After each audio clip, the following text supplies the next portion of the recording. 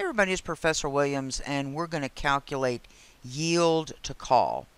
You need to remember that some bonds have a call provision that allow the issuers to repay the bondholder's par value prior to its scheduled maturity.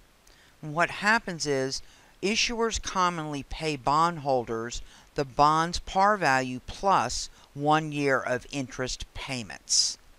So we have a 6.35% coupon bond with 27 years left to maturity, but it can be called in eight years.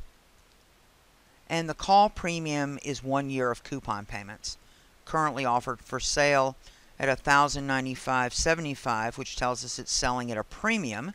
So we need to get our values for our calculator. So we assume semi-annual payments. We base this off of the call so that's going to be 16 payments. We're going to compute the IY.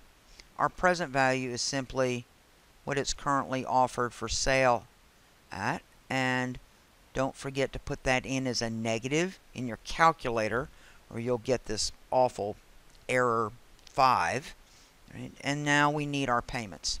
So that's our coupon rate. Right? So we take our $1,000 coupon rate times or our coupon rate of 6.35 times our par value gives us an annual payment of 63.50 but all of this is based off of semi-annual so it gives us semi-annual payments of 31.75 and now this is where this differs from some of your other bond questions right? Normally you just put your thousand dollars there for your future value but in this case they're going to get the par value plus that one year of coupon payments as a call premium.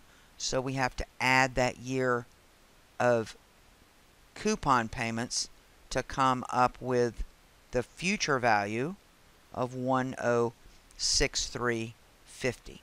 Now remember that when we calculate this IY, right, we're expressing this semi-annually but yield to call is expressed as an annual rate, so we're going to multiply whatever we get by 2. So, um, let's see, we had an N of 16. Our present value was the 109.575, which was the price entered as a negative. That's our present value. We figure our payments were 31.75.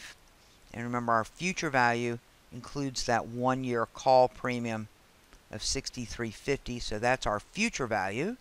Now we're going to compute our IY but remember we want it expressed as an annual rate so times 2 gives us a yield to call of 5.50% just round that up to two decimal places.